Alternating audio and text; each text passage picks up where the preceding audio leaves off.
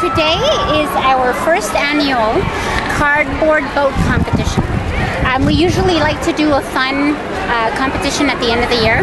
Again, we always uh, use math and science in whatever we're doing. So today we basically gave the kids some rules and said, you know what, this is what you can use, this is what you can what you cannot use, build a boat out of it. And they blow me out of the water every single time. If you, as you've probably seen, there's some pretty pretty incredible um, uh, boats out there. They could only use cardboard and duct tape, basically. And then we did use a sealant for the cardboard, but. Um, Again, they're using a lot of different math and science principles in creating this. And the object of today is to race to the end of the pool, and whoever gets there fastest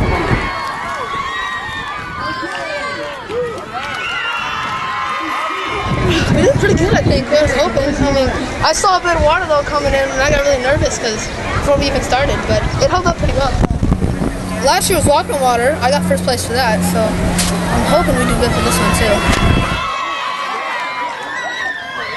Well, at first, when we were like really going, I got nervous. I'm like, oh my god, we're probably gonna fail or something.